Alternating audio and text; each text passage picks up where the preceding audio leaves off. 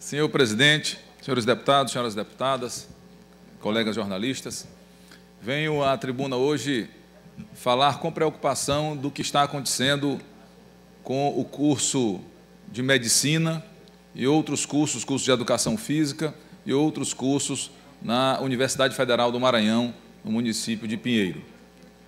Infelizmente, os cursos estão em situação de abandono, com sério risco de deixarem de funcionar naquela cidade, com graves prejuízos nas mais diversas áreas. Primeiro, porque vários estudantes deixarão de ter a oportunidade de cursar essas áreas tão importantes.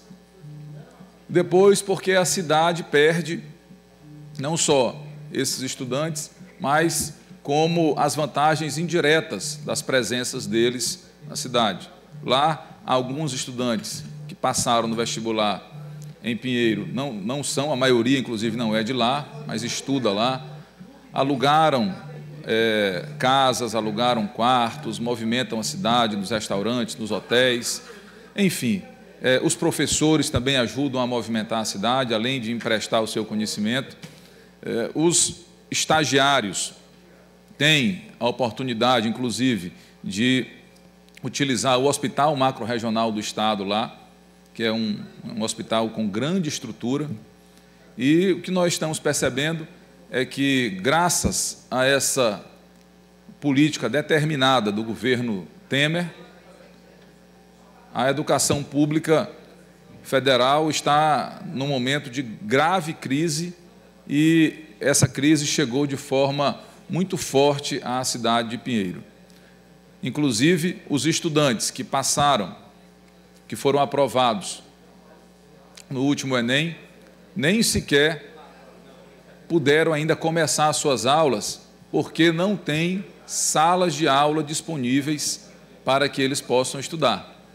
As obras que começaram de ampliação do campus foram paralisadas e esses estudantes estão até agora sem ter como começar as aulas, porque não tem estrutura física, por incrível que pareça.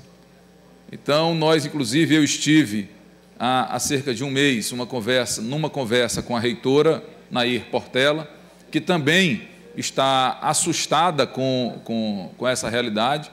É, é, claro que isso é uma prerrogativa do governo federal, são obrigações do governo federal, mas eu, inclusive, me dispus a tentar ver mecanismos formais para que nós, possa, nós possamos, o poder público estadual e nós, como agentes políticos na Assembleia, ajudar a resolver aquele impasse, inclusive, por, inclusive porque aquela situação do campus de Pinheiro, ela extrapola diferenças político-partidárias. É preciso união de todos para que é, aqueles estudantes não tenham esse prejuízo. Vamos encaminhar um, uma, uma, um requerimento ao ministro da Educação para que ele saiba do que está acontecendo aqui e, se tiver um mínimo de sensibilidade, coisa que no governo Temer é raro de se observar, tome providências urgentes para que possa reverter essa situação do campus da Universidade Federal do Maranhão, no município de Pinheiro. Muito obrigado.